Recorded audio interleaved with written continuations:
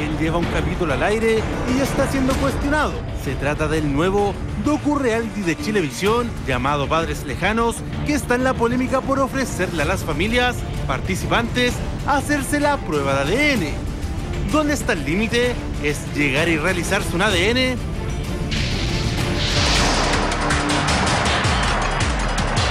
Padres Lejanos, docu-reality conducido por Francisca García Huidobro, debutó este martes en horario prime, mostrando la dura realidad de algunas relaciones entre padres e hijos. Pero lo que más sorprendió es que a las familias se les ofreció realizarse el examen de ADN. ¿No será un exceso?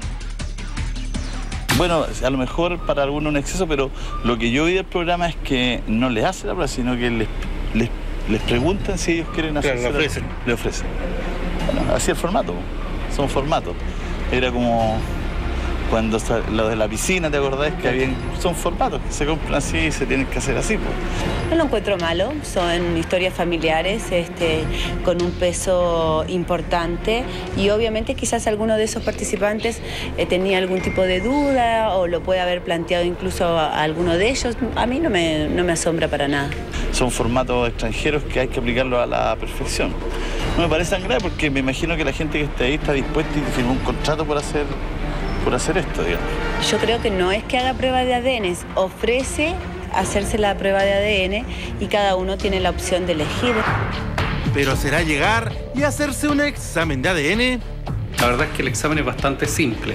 ¿Por qué? Porque basta solo el consentimiento de las partes, si que son mayores de edad, para hacerse el estudio y tomarse una muestra que es tan simple como una muestra de saliva.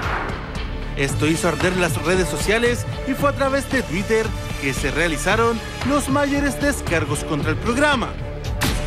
Esto es puro show, que pasa el verdadero padre, ADN y cosas varias, mal padres lejanos. Ya, el examen de ADN, padres lejanos debió animarlo la jueza y emitirlo a las 4 de la tarde. Ah, no, y ahora ofrecen examen de ADN. ¿Quién financia esta joya? Hasta dónde pueden llegar, hasta donde la gente quiera que llegue. Si hay personas dispuestas a, participar en un programa de esas características, queda validado al final de cuentas el formato. no hay límites de ninguna especie. Ya no hay límites de ninguna especie. Lo último, lo que está por venir, yo creo que es una cópula en pantalla entre un asno y una cucaracha. Es lo último que les va quedando. Ya no hay nada más que mostrar. Ellos son, al final de cuentas, quienes eventualmente se van a ver o favorecidos o perjudicados. Si además lo acompaña la sintonía, fantástico por ellos, pues funciona como televisión comercial, como distintos modelos que al final de cuentas apuestan por el rating. La televisión, señores televidentes, la televisión se sostiene con sintonía.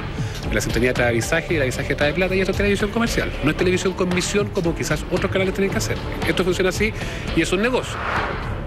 Este programa de televisión nos hace recordar a muchos famosos que han debido enfrentarse a pruebas de ADN. Don Francisco fue demandado por Patricio Flores, un hombre que aseguraba que Mario Kreuzberger era su padre. Finalmente, en 2011, exámenes de ADN descartaron que Flores fuera hijo del popular animador. Yo me sometí a todo lo que había que someterse. Está claro, hay una condena, hay una resolución final y lo demás son solo especulaciones. También pasaron por estas pruebas de ADN Camila Nach, Ricardo Lagos, Camila Recabarren y en el extinto programa El Diario de Eva se mostró un caso de un niño de 9 años que le realizaron el examen. Pero, ¿qué tan efectiva es la prueba de ADN? Bueno, la efectividad puede llegar a un 100% cuando se trata de excluir la paternidad, es decir, cuando el papá no es el papá del hijo. Y a su vez, si es el papá del hijo, hoy en día las técnicas permiten asegurar con sobre un 99,99% de certeza la paternidad positiva. Por lo tanto, en la práctica es altamente certero.